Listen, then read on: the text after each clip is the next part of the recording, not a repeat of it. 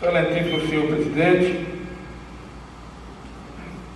vereadores, vereadoras, pessoal que nos assiste, você que está nos acompanhando através da Jeremão FM, YouTube, Facebook, Guarda Barris, depois de boa noite, agradecer a Deus né, por estar aqui, pela chuva que está mandando, pela vida, pela saúde, por tudo. Vereador Benedito, em relação aos artistas de Jeremoabo, nós esperávamos que a secretária viesse aqui, mas ela não veio, né? E vamos pedir a Deus que amanhã, vereador Jair, o presidente sancione essa lei, que se não sancionar, os artistas de nossa terra perdem recurso. Em, Jeremo, em Coronel Gonçalves, vereador Jair, ao termo da, da audiência, eu me informei lá e mandaram me dizer aqui como foi pago lá os artistas. Aí me mandaram dizer que as pessoas que se enquadravam na lista da lei preenchiam o formulário e faziam a transferência. E aqui teve esse todo, não empenhado de um ano para outro, e hoje nós estamos aí que se o presidente não sancionar a lei, os artistas perdem. Nós vamos confiar em Deus primeiramente, né?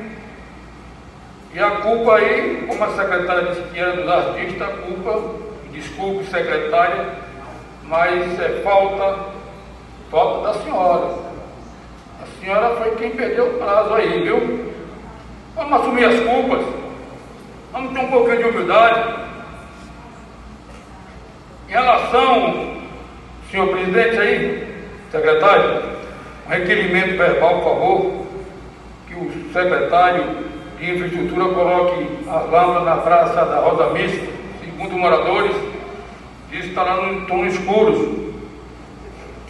Posso quebrar do muito alegre, mais dois anos, eu vou cobrar aqui enquanto consertar, vou ter que cobrar todas as sessões. Baixa da volta, vereador Zombinho, vereador Cacá, pá d'água, boa sorte. Outro pedido verbal aí, senhor secretário que o gestor coloca a bomba lá,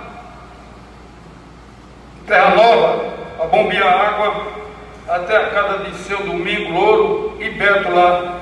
E na gestão do prefeito Antônio Chaves, o senhor deixou lá um bombeador, uma caixa, e 1.500 metros de canos, e tem, podem três anos, e não fizeram esse serviço. A gestão do Antônio Chaves deixou na época o secretário Marcelo Romão, deixou lá no último dia do seu governo. Não inauguramos porque no outro dia quem assumia era o gestor que estava. Falta de médico, vereador Sidney, vereador Domingo.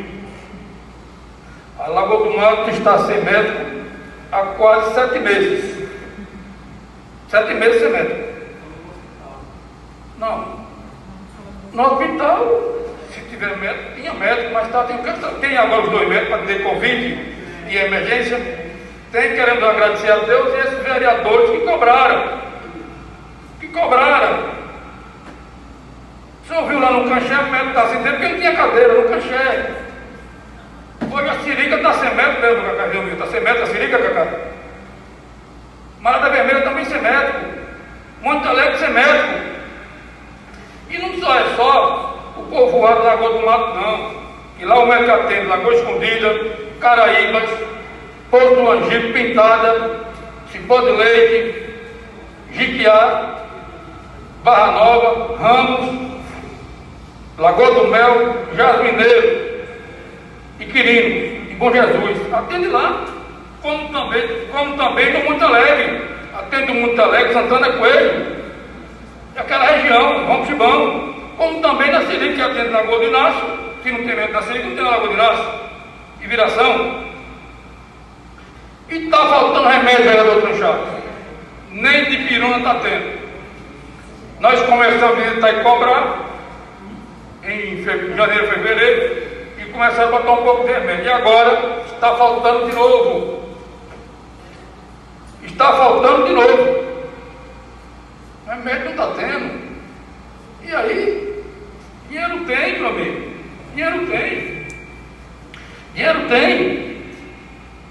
Vereador.